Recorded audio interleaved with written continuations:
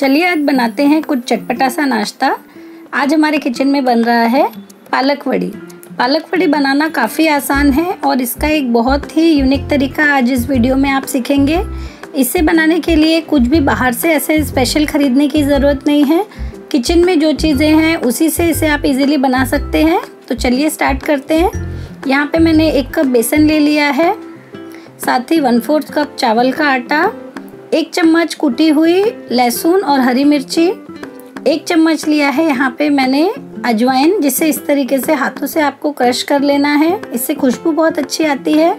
एक चम्मच सफ़ेद तिल, वन फोर्थ चम्मच हल्दी पाउडर और थोड़ा सा नमक स्वाद अनुसार, आधा चम्मच जीरा और खूब सारा हरा धनिया अच्छे से वॉश करके बहुत बारीक इसे कट कर लेना है। सबसे पहले इन सभी चीज़ों को हमें अच्छे से मिक्स कर लेना है, सूखा ही। उसके बाद हल्का हल्का सा पानी डालते हुए आपको इसका एक मिक्सचर बनाना है। मिक्सचर जो है, बहुत ज़्यादा गाढ़ा भी नहीं चाहिए और बहुत ज़्यादा पतला भी नहीं होना चाहिए। ये एक परफेक्ट कंसिस्टेंसी है, जो पत्तों पे इजीली चिपके ऐसा आपको मिक्सचर बनाना है। यहाँ पे मैंने पालक के ऐसे बड़े बड़े पत्ते लिए हैं, जिन्हें धोकर सुखा के रखा है।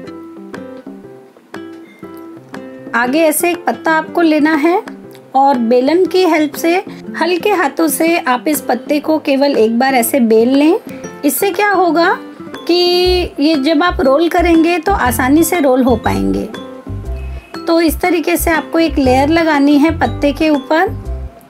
और ये लेयर जो है बहुत ज़्यादा मोटी नहीं लगानी है, क्योंकि हम और पत्ते इसके ऊपर ऐड करेंगे।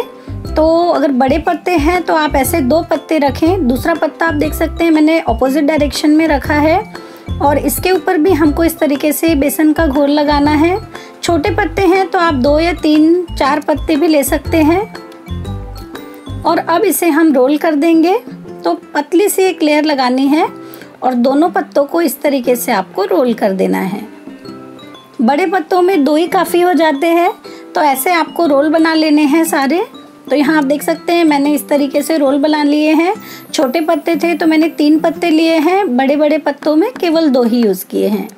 आगे एक लोहे का तवा लिया है, उसमें तेल डाला है दो चम्मच, और इस तरीके से आपको इन रोल किए हुए पालक के पत्तों को इसके ऊपर रखते जाना है। तवा जो है, अच्छे से गर्म होने पे ही तेल ऐड करें, और गैस का जो फ्लेम है थ्रू आउट द रेसिपी हमें एकदम लो रखना है। नहीं तो ये जो पत्ते हैं, ये ऊपर से तुरंत लाल हो जाएँगे, लेकिन अंदर बेसन जो है वो कच्चा ही रह जाएगा। साइड्स फ्लिप करते हुए आपको अलट पलट करते हुए इन्हें हर डायरेक्शन से अच्छे से सेक लेना है। कम तेल में बनने वाली ये बहुत ही अच्छी रेसिपी है। अगर आप जल्दी में हैं तो आप इन्हें डीप फ्राई कर सकते हैं। अगर आपको और ज़्यादा हेल्दी बनाना है तो आप इन्हें केवल स्टीम कर सकते हैं। धीमी आँच पे ही इन्हें आपको इस तरीके से तवे पे अलट पलट करना है। यहाँ पे मैंने तवे पे ही इनके छोटे छोटे पीसेस में कट कर लिया है, ताकि ये अंदर तक अच्छे से फ्राई हो जाए और अंदर का जो बेसन है वो भी कच्चा ना रहे। तो इस तरीके से आपको इन्हें पूरा अच्छे से फ्राई करना है। तो गर्मा गर्म पालक की जो वड़ी है एकदम रेडी है। अभी बरसात शुरू होने वाली है तो ये चाय के साथ बनाने के लिए एक बहुत बढ़िया ऑप्शन है। रेसिपी अच्छी लगी हो तो लाइक करें। शेयर करें कमेंट करके बताएँ आपको रेसिपी कैसी लगी। फिर मिलेंगे हम एक नई रेसिपी के साथ। तब तक के लिए बाय बाय